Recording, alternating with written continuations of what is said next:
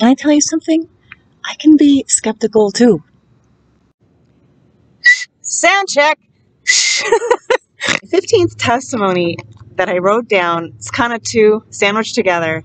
When my physical body leaves this world and my spirit man and my soul has a renewed body, a, a glorified body, and I am standing in front of my Maker, my Heavenly Father. When I'm standing in front of my Maker,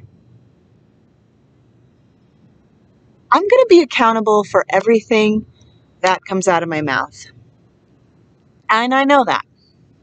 Uh, let me start with the cake testimony.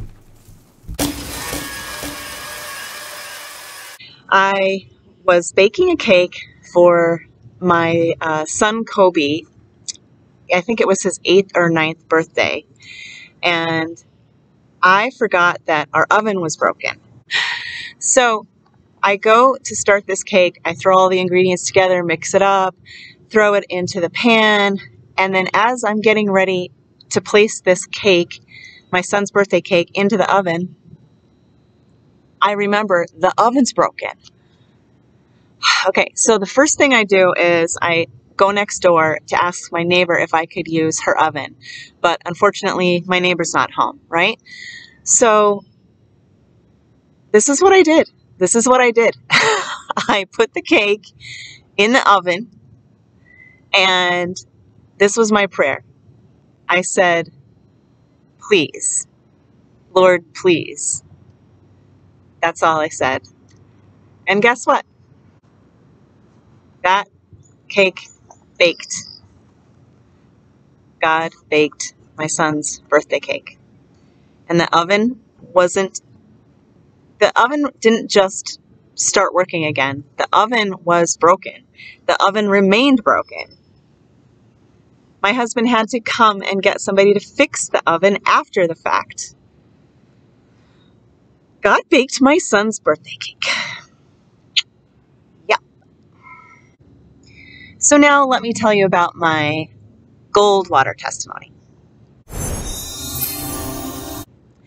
I'm kind of feeling sentimental because I can't believe I made it to the bottom of this list.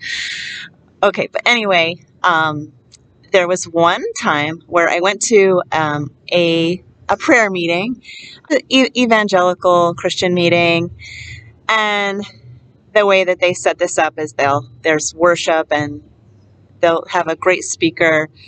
So anyway, I'm in this meeting and I am worshiping and I'm praising the Lord and I'm singing in English and all of a sudden I just start hearing myself sing in a different language. that that was the evening that God gave me my my spiritual language and and I was singing in tongues. I was singing in the tongues of angels and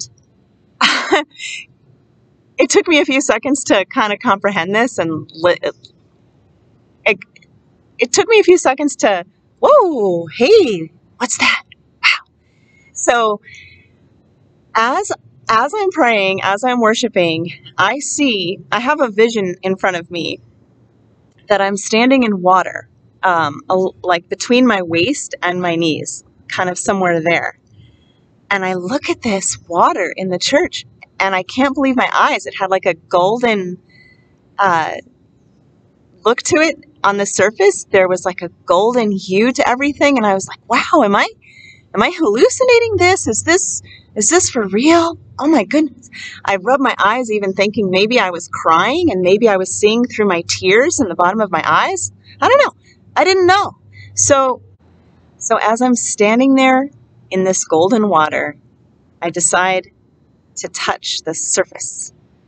And I touch the surface of the water, and little ripples go like this throughout the whole church. Yeah. So those are my last two testimonies. On the bottom of my infamous list of testimonies, I did it! Good for me. Golf clap.